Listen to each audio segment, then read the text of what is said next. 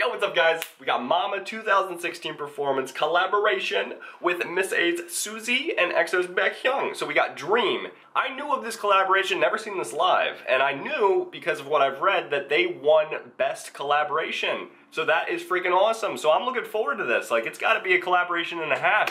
If they won Best Collab, gotta get ready for this, guys.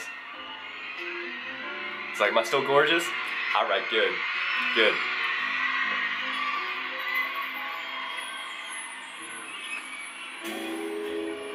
We know. Hey, what up, Suzy? You're gorgeous.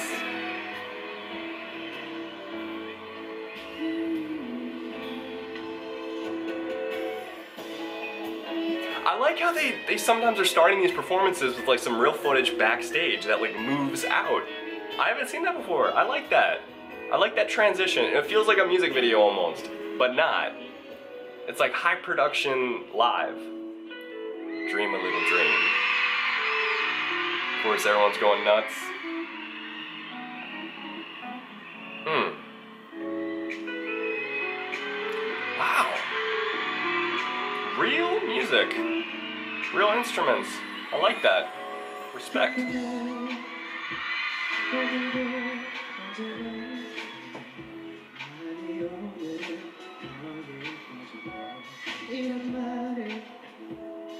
I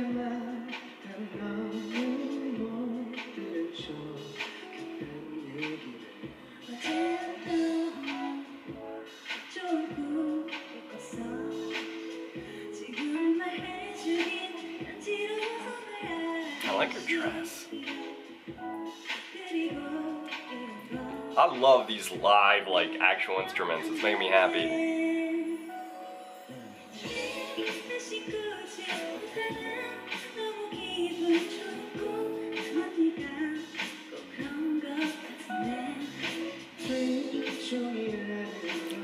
Know, they don't seem nervous at all. Like, I would be so nervous right now.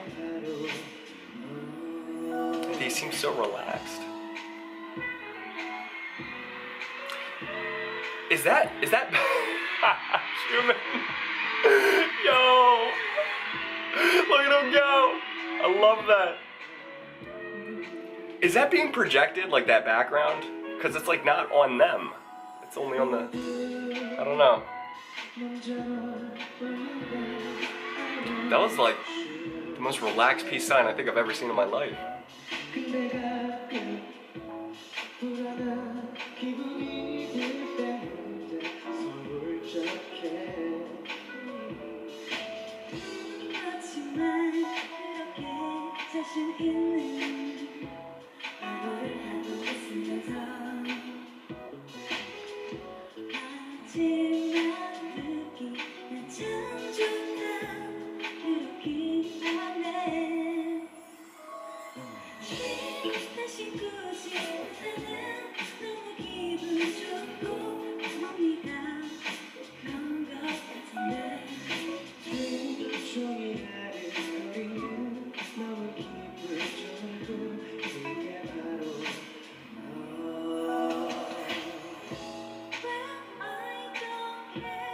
Doesn't care.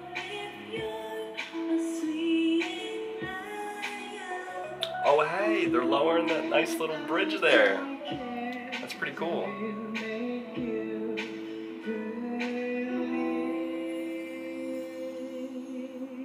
Beautiful voice.